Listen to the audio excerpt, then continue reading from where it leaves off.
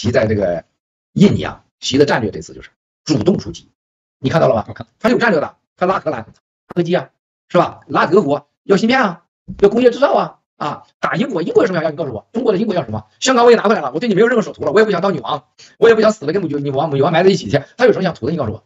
然后呢，对待美国就什么？就是忽悠，就是用蓝金黄拿下某个人，然后彻底改变美国，他们也不抱着幻想。但是能拖一天是一天，让美国就是给他最大利益化。我绑架你，我有你的国债，我有你的一万多亿的投资，然后你们是一个最大的市场，你敢把我干灭，你这个呃金融金融就崩溃，反正就跟你玩吧啊！用你到中国讲故事，你看美国人又软了，美国人又不行了，美国人又和谐了，你美国人来开会了，从阿拉哥说百人要一百天会议，无数个这个谈判就让他们来啊！美国还一定会上当，这回台湾保护法案基本上就办了啊！然后这个习逮着机会打台湾，他就认为我打台湾时我要给你一个理由让你不出兵。